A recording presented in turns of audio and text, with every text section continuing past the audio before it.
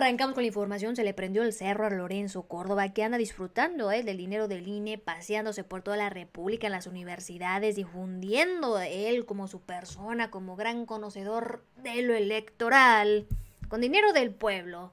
Pues se lo tunden la directora de una universidad en Tabasco, Universidad Autónoma de Juárez, por mentiroso y vendepatria. Pues arrancamos con toda esta información porque claro, no lo van a difundir, así como menospreciaron las manifestaciones de los jóvenes en la UNAM. Y Lorenzo Córdoba todavía mencionando, yo soy un intelectual, a mí me quieren en la UNAM, pues sí, anda con sus cuates, los, los que manejan la universidad, ¿cómo no? Lo van a querer y cómo no, según él lo van a recibir bien, se anda con sus guatachos. Pues arrancamos con la información porque ya cuando se enfrentan con la gente es muy diferente.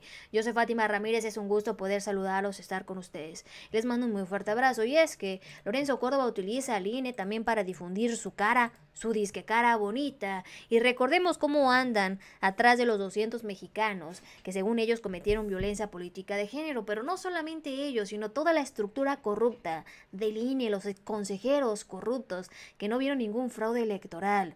Tanto que uno de ellos está ayudando a los candidatos del PAN, de la Alianza Va por México, para que puedan tumbar la elección de Tamaulipas por la intervención de los grupos del crimen organizado. Ahí lo tiene, ¿no? La cara de corrupto que tiene utilizando sus palancas, los magistrados que también están haciéndole el zafarrancho a los del INE con el tema de la violencia política. Como ven que la gente no se deja y que la gente está hablando, pues tienen que echarse para atrás. Ya dejaron en paz a Andrea Chávez y también al editor de la revista Sin Línea. Para que se acredite la violencia política en razón de género, señalaron los magistrados, debe haber violencia contra una mujer por el hecho de serlo y de llevar a cabo sus labores legislativas, lo cual no hubo con Andrea Chávez y el otro mexicano. Pero hay que recordar, ¿no? Los fabulosos salarios que tienen, es que hay mucho en juego. Tanto que los consejeros de Colima se aprobaron tener un pavo a costa del pueblo mexicano. O sea, la, cena navideña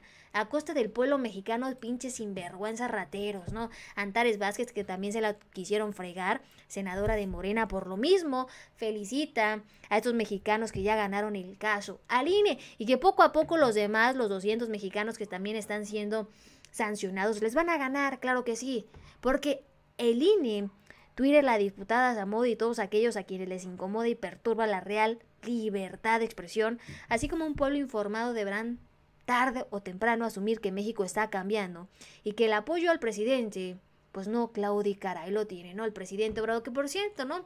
Santiago Krill estuvo en una en una celebración en el acto formal y el muy chingón, según él, se fue con el presidente Obrador, según él, así quería irse con el presidente Obrador, que lo regresan para atrás, porque ya se sentía presidente el Santiago Krill. Les invito, señalaba Lorenzo Corda en sus redes sociales, a seguir la conferencia Evolución y Desafíos de la Democracia Mexicana en las universidades que se andan paseando, pero no contaba con que la directora llamada Felipa Neri, apoyada al presidente Obrador, le dijera hasta de lo que se iba a morir. Pues arrancamos, ahí está, ¿no?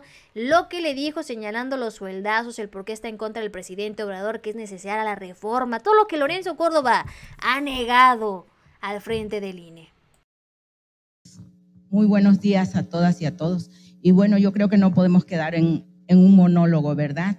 Sino que tenemos que participar los que estamos aquí. Soy la directora de esta División Académica de Ciencias Sociales y Humanidades de esta máxima casa de estudios, la Universidad Juárez Autónoma de Tabasco, de la que usted se precia y dijo que estaba muy contento de estar en este lugar. Y mire que les hemos recibido de una forma muy civilizada, porque aquí estamos muy comprometidos con la democracia. Desde esta división estamos trabajando con las alumnas y los alumnos para construir ciudadanos y bueno, en Tabasco tenemos ya mucha experiencia de participación ciudadana porque de aquí es el presidente de la República, un demócrata, un hombre que se hizo eh, luchando, que jamás encabezó revueltas eh, ni violencia, en ninguna ocasión que, perdió las elecciones. Eh, su lucha ha sido pacífica y eso estamos enseñando hoy a los eh, alumnos de esta división académica eh, que tienen que participar de forma organizada, de forma civilizada. Usted cuestionaba eh, la iniciativa de reforma electoral que presentó el presidente, que por primera ocasión un presidente de la República presenta una reforma electoral.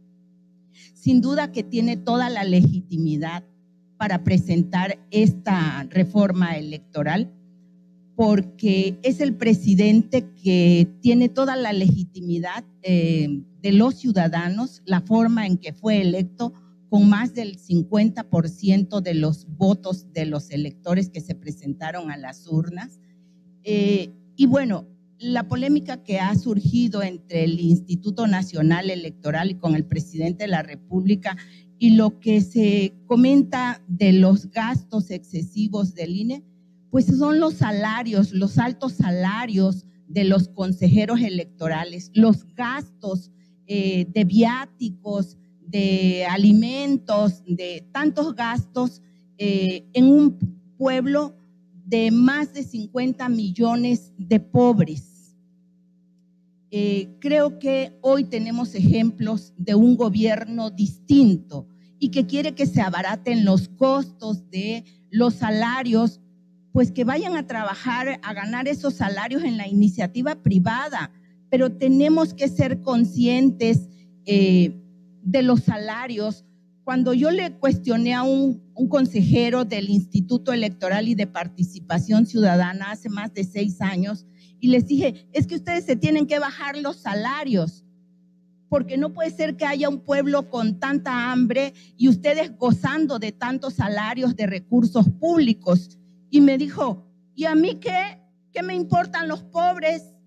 No puede ser que seamos sordos y ciegos ante tanta pobreza y estemos recibiendo un salario que, no, o sea, los de abajo no ganan estos salarios.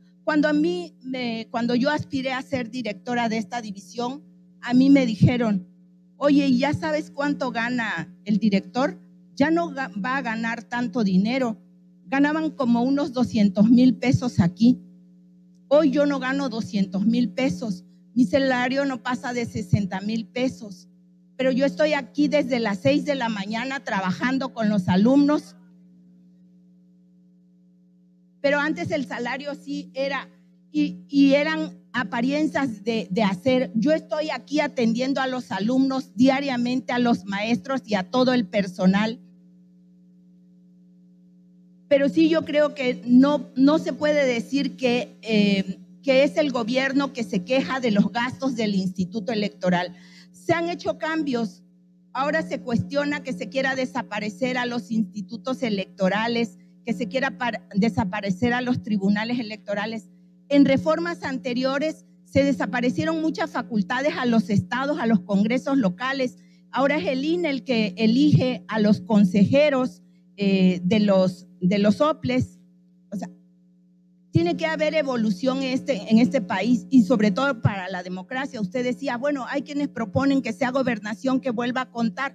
Usted decía también en Inglaterra, son los funcionarios los que participan, los que cuentan porque hay una gran credibilidad, pues tenemos que avanzar. En eso es en lo que queremos enseñar a las alumnas y a los alumnos, que desde el lugar que estemos, hagamos nuestro trabajo comprometidos.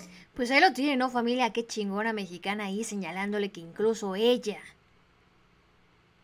vivió ese tema de los salarios altísimos, les pone el ejemplo, les calla la boca que sí se puede, simplemente, ¿no? Exhibió que es una rata, que le encanta el salario público, que les encantan los privilegios, pero chiqui nada más como según él le contestó. Jamás cuestioné ni he cuestionado la iniciativa del presidente de la República. Yo nada más puse una serie Nada más que quede claro, yo jamás cuestioné ni he cuestionado la iniciativa del presidente de la República. Yo nada más puse una serie de elementos que la hacen novedosa no nos pongamos cosas en la boca de los otros que no se dijeron. Somos académicos, directora. Usted también es académica toda su vida.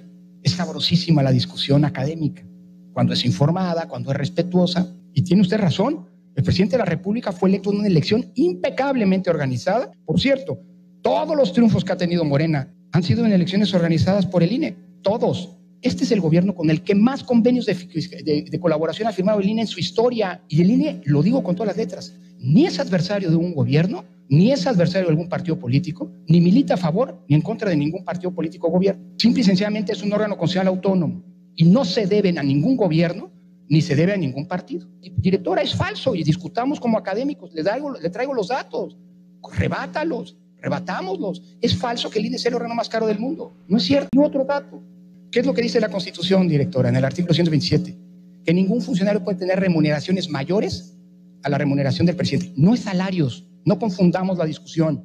La remuneración, lo dice la propia Constitución, es ingreso y es todas las prestaciones materiales y, demás que recibe un funcionario público. Y en el INE no ganamos más no ganamos una remuneración mayor que la del presidente de la República. Eso se lo aseguro. Pues ahí los tienen familia, qué rápido se le prendió la mecha a Lorenzo Córdoba. Ay, debatamos con, con datos, debatamos con esto cuando sabemos que son unos mentirosos. Pues ahí lo tienen, ¿no? La hipocresía, qué buena tunda le pusieron y qué bueno que poco a poco la gente le esté sacando cara a cara sus mentiras y que vean cómo intentan justificar, cómo le dan la vuelta, cómo se dan sus maromas. Pues esta es la información, si les gustó ya lo saben en su canal. Soy Fátima Ramírez y nos vemos hasta la próxima. Música